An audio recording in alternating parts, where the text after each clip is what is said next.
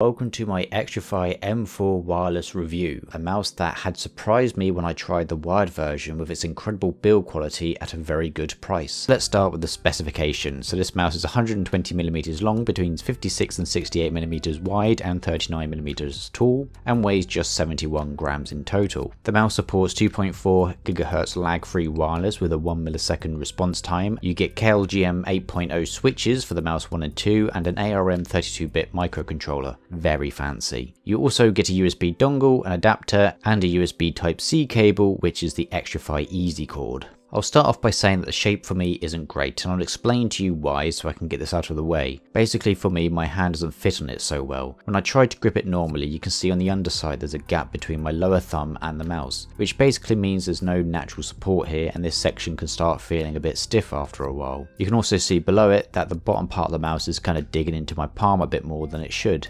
If I move my hand down a bit you can see that it starts to get snug and it is a lot more comfortable but that means I have to move my hand down lower so more of my palm is in contact with the mouse pad, thus also being more uncomfortable. I hope I've explained myself, for reference sake it does it with the other back as well. Anyway, despite this the quality that I expected of Xtrfy remains here. It honestly feels, despite the holes, very sturdy and well built. I don't find the holes annoying at all and as a sweaty gamer they're actually a blessing during the hotter days to the point that I'd actually swap to my M42 during the summer just because it was more comfortable. The coating or what's left of it is a soft matte and I think it's really nice. I say that it's most similar to Logitech's kind of coating if I had to compare it to something, and if there were no holes it would probably be comfortable. All the buttons and switches feel great, the mouse 1 and 2 are using the KLGM 8.0s which are the preferred choice of many gamers. I think they're very nice, they're very consistent and there's no pre or post travel with the buttons themselves either. The side buttons have the same quality also, feeling very crisp. They are quite large and they also stick out by quite a bit as well, so they're even easier to reach by rolling the thumb. The scroll wheel is great also, the notches feel very solid, it has a nice scroll to it and it's very quiet.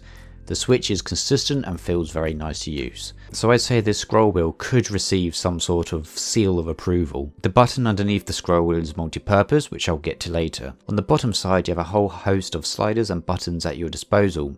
Also included are four PTFE mouse feet that are in my opinion a bit small. There's also a spare pack in the box thankfully and even comes with one to place around the sensor if you prefer. To continue, this is where most of the interesting stuff happens. On the slider at the bottom, you can change the function of the top button underneath the scroll wheel to change DPI, RGB, or have it set to page down, so you can bind that button to something on your keyboard and have it doubled up on your mouse. Wowie. A note on the DPI, there's 8.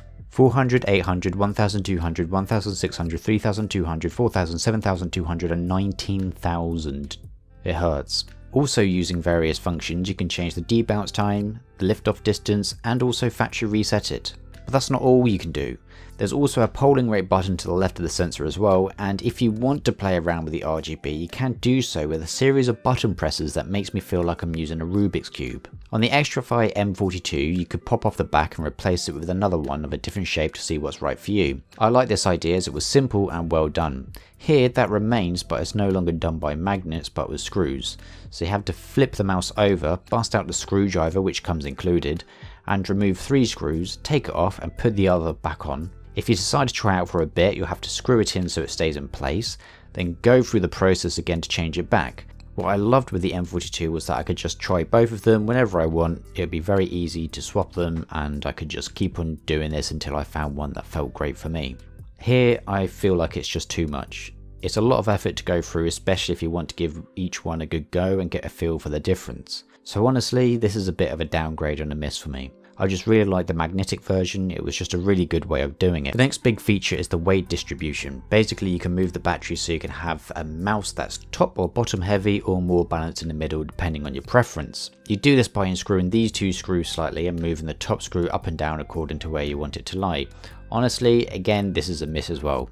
I can see the idea behind it, but there's been almost no cases where I've really felt the need to change the weight balance on a mouse. Maybe with a G305, but that's because the battery is 20 plus grams. I really feel like this feature could have been skipped, but I have to applaud someone for trying something new, especially if it doesn't really affect the other parts of the mouse unless that is the reason why the back isn't kept on with magnets anymore. If that's the case I prefer this to go for the easier back removal. For wireless, Xtrfy say that it can last up to 75 hours, but they say it depends on the hertz, lighting, on or off, and playstyle. I'd like them to be a bit more honest with this and say what's expected with 1000 hertz, colours on or off, etc. as an estimate. But anyway, I've charged it once in like two weeks, so to me, the battery life is fine and you get the same cable that comes with other Xtrfy mice. So if you do have to plug it in, the cable is good enough to play with regardless. So the mouse overall still retains the best parts of Xtrfy, a really surprising build quality standard and a very large amount of attention to detail. I do feel though that maybe it's gone a bit too overboard with features. I think not having software is fine if you've got the standard DPI and polling rates, but I feel like with some finer customizations, just give people software. There's 8 DPIs. If you're someone that swaps around often, you're going to have a rough time. And all the color changing, lift off distance, I mean, it just honestly feels like you're playing with a Rubik's Cube at some point because you're just flipping the mouse so many times over to change all the settings. The weight balance feels like an okay idea, but ultimately I think they've ended up proving to me that it's a feature that I never really needed. The removable back as well was my favourite feature on the M42 and has been downgraded on this one as well. But overall, I can recommend this mouse. The price of around $99, £90 or around about 90 euros is actually pretty great for what you're getting. And that's a very sturdy wireless mouse that is packed with some high performance stuff and you get some good switches, a PixArt 3370 which is a very good sensor and very power efficient. I do wish the mouse was a bit more suitable for my grip, but I'm not going to make it seem like a bad mouse because it's not made for my hands. It just means that I wait in anticipation for other mice from Xtrfy because honestly, as I can't use this often, it makes me feel a bit sad, like I'm missing out. If this mouse is good for your grip, honestly, you're a very lucky person. I envy you. It's really been a good mouse to use in game for the time that I've been able to use it. I'm just putting this out there though, Xtrfy. You made a rocket jump ninja mouse. How about you give me a shot? It's, you know, it's guaranteed to be great. It'll be a bestseller. It'll have a good shape. You know, everybody will love it, including me.